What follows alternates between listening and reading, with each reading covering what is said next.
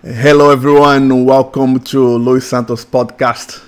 This is my second podcast, uh, and I'm really happy to bring here my man Sam. Uh, he's been a guy who he's approached me for a tattoo, a South American tattoo, and I was so happy to. I was thinking, you know, when we finish our tattoo, I definitely need a podcast with Sam. Wasn't it Sam? yeah, man, it did, it did. It's been a long time in the making. Yeah, yeah, it's so cool as well because it was his first tattoo as well, and he didn't know where to go to, you know, and he was like looking for a place to go, but because his tattoo was about South American culture, right? Yeah.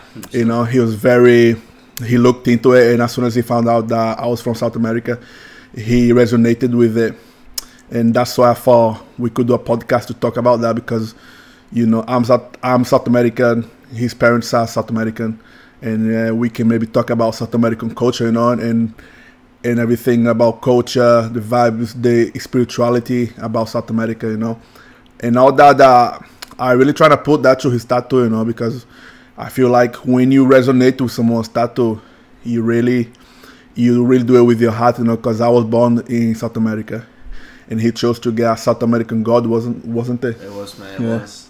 So, yeah. So you, your parents were from from South America then? Yeah, so both my parents are both from Mexico.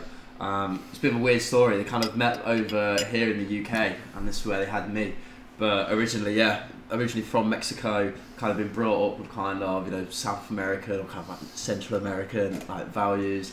Uh, Spanish isn't bad, and uh, and yeah, man, it's just been quite a big part of growing up because especially in the UK, there's I have probably in my life in the UK met, other than my family members, probably met two other Mexican people. Wow, wow, really? so it is kind of hard, especially when you want to get a tattoo. Obviously, it was my first tattoo as well. Um, I want something that's important to me. I want something that's obviously specific to me as a, as a person as well. And because obviously I've lived my whole life in the UK, sometimes you do get a bit distanced from kind of uh, where you originally come from. So like obviously my parents they had a whole thing of you know they spoke English when I was around. They kind of taught me English before they kind of taught me a bit of Spanish because they Oh, wanted yeah. me to give the or they wanted me to have kind of the best opportunity whilst I'm here in the UK. Um, but as I kind of got older, I kind of obviously learned a bit more, especially over lockdown. Kind of delved into my parents' history a bit more, kind of where they're from, kind of where my family's from, and uh, and yeah, it's, it's something that now I've obviously got a tattoo on it, something that's going to stay with me forever. In a way, you know, I can never forget. No, I can never forget where I come from. I think like we, even though that you were not born in South America, because your parents are from South America, uh, you must have uh, like a feeling to it, like almost like you you belong there in a Mm. in a way because Yeah. your blood is is South American, you know, but Yeah. you're born here. So I bet you any money if you go if you go to Mexico, you're gonna feel like you belong there in a way. Even Those- though you've probably never been there. Have you been there? You've not been to South I've America. not been. Yeah. No, I've not been. But like, it's yeah, it's one of them. Like, the kind of the closest I've come to it is. It's not the same. The kind of the European culture. As I say, I've been to. We go to Spain a lot. I've got family who came from Mexico. They're living in kind of Spain, Portugal now. They're the ones we kind of visit.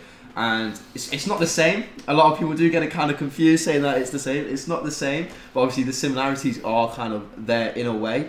Um, in terms of kind of the culture, obviously with the language of some bits of the food. Um, but it's just that kind of yeah, it's just that kind of like warmth of like you know you belong somewhere, kind of that, that feeling of. That's home. how I feel like when I go to Brazil, you know, even though and I've been here for so long now, and I feel British in some ways because I've been here for so long. Mm. I'm so used to be here now. uh, Today, some people say, "Oh, England is so cold," but but I'm like, I'm so used to it now. Yeah, kind of yeah. used to it because it's here every day.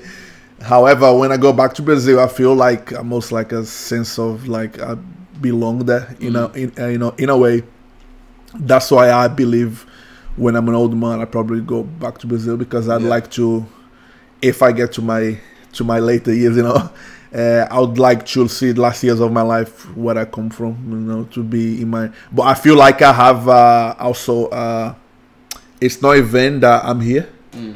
because uh, I feel like I came to England for a purpose, like to work here and to live here. Like I have a daughter here, so I do have a family here, but I don't feel like here is wrong. I feel like here is like part of the journey, Yeah. and then one day I'll be going to where I come from, and hopefully all my friends from England can come to see me in Brazil, including you as well. Man, I'll if you follow, come to. South America, I'll man, be yeah. in there, mate. I'll be there. Where's, where's the Where's the place called? Is it Is it Salamanca or is it São Pa- I was born in Olinda. Olinda? Olinda. I was born in Olinda, but I was brought up in São Paulo. Bro, if I brought an English person to Brazil, I would bring him to the north of Brazil, to Olinda, because Olinda is more cultural. It's got beaches, it's got the food, the culture. The culture is in is on enough. If you go to the south of Brazil, it's more like uh, how can I say? It's more Europeanized. Like it's more Yeah, like work and buildings, and Yeah. it's more. You feel, you feel like you are in London, basically. Where you was know? the place that you told me? Was it Was it Salvador? Salvador, yeah. Where all the Brazilians go to party? You Yeah, take me there. bro. Take me there. that, no, that part, that part of South America, Bahia, Salvador, is the beginning of the north. Is it? Yeah, it's like below that is like the south of Brazil, but this is like the coast of the, of the north in Brazil, Bahia, Salvador. Yeah, it's a very spiritual country now, and uh, the carnival over there is like so. I think it's the best carnival in in the world. It's Bahia, Salvador. Of course, uh, Brazilians they will discuss, it. oh, it's real. No, it, it's it's Olinda. Yeah, Yeah. there's so many places, but I think Salvador, in my eyes, is the best I've seen. I went there in 2020 and I was blown away. You know, it's such a it's such a spiritual place as well. It's where the it's where the slaves came over to Brazil to build Brazil there, and uh, you still have the Africans, and then you've got the Europeans. You know, there's a lot of history brought from the Portuguese. The Portuguese they uh, they enslaved the Africans, and then the Africans they started to do like uh, parties, Yeah. pretending they were partying, but really they were doing martial arts. Yeah. That's why it came in the capoeira. Oh, okay. You know, capoeira. You know, capoeira Yeah. came from that. It came from like slaves trying to protect themselves, but they didn't know how to. So they pretended to the Portuguese that they were partying, and uh, that's why capoeira this dance to this music. Crazy. I It's didn't know not that. that, yeah, yeah. So they were making music. So the Portuguese oh, they were dancing, making music, but they will practice how to In defend reality. in reality. Yeah, yeah, yeah. They were creating a martial art to defend themselves. Someone, someone told me something uh, similar to that yesterday. So, uh, when we were recording this last night, I watched the um, what was it? It was Smith versus Eubank Jr. The boxing, Yeah, yeah, the yeah. boxing match last night. And I remember I was chatting to my mate about it, and he said, um, so you know Lomachenko, the he was kind of pound for pound number one. Apparently, uh, so the people who are, are like unbelievably good at boxing, obviously raw talent, really good, almost kind of like born to do it kind of thing.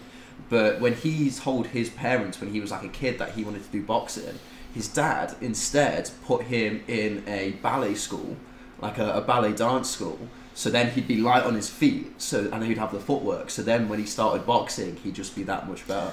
I believe in that, you know, because I believe in that because uh, Bruce Lee was very good at dancing as well. Mm. He's very good at touch. I believe martial arts is a dance. Yeah, You dancing, I mean, like you, you, you have to be a good dancer in order to be a good fighter. Mm. Bruce Lee was champion at cha-cha. Uh, uh, apparently, uh, Yeah, he was really? like he used to win competition of cha-cha.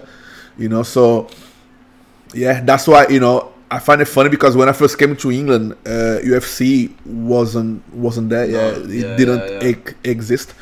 And I remember working in a building site, and the and one of the builders said to me, uh, "How come there's no many Braz- uh, Brazilian boxers?" And I said to him, "Because in Brazil we fight with our legs with, uh, uh, and our arms. You know, boxing is just this. body. Yeah, yeah. You know, Brazilians, South Americans, we dance more, so we are more like we do more than just box. We do spins. We we kind of dance with the fight. I mean, so now uh, UFC is on now, and all the uh, Brazilians coming to UFC. But that's more like us. Hundred percent, man. That's our art. You know, we have to be more free. You know, in order to uh, to develop ourselves, to express ourselves. I don't think a Brazilian could fully express themselves in boxing no, because boxing is very like it's limited. It's limited. Yeah, and I mean, Yeah. don't don't get me wrong. I think boxing is a great sport. I I love boxing, but I used to have a friend, and he was from he used to be a capoeira teacher, and he was a doorman in a bar in Leeds. Really? and he said every time guys are drunk, they just go like that. eh? He used to get in front of the floor. You need to tell me. You need to tell me what bar, so I don't, so I don't run into it. yeah, capoeira, man. Capoeira is dangerous, man. Capoeira is like I've seen some videos on it before, kind of on YouTube and Ca- stuff. do you know? I find that people laugh because they say capoeira is the non-touchable martial art. However, it's a non-touchable martial art, so you, you don't die.